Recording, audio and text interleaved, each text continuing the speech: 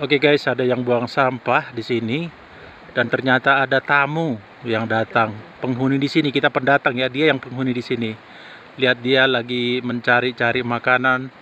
Semua sampah dibuka-buka, dicium-cium. Tahu pacarnya pernah dicium nggak ya? Dia tuh. Ada monyet gede guys, nih gede tuh kan.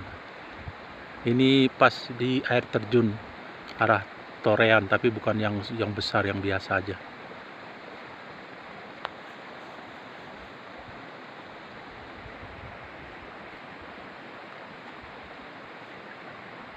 Wah, Pak Hadi pinter nih. Cari jalan. Kenapa tuh Pak? Pak Hadi nggak takut sama monyet? Ya enggak lah Pak, kan kita nggak ganggu dia. Iya ya.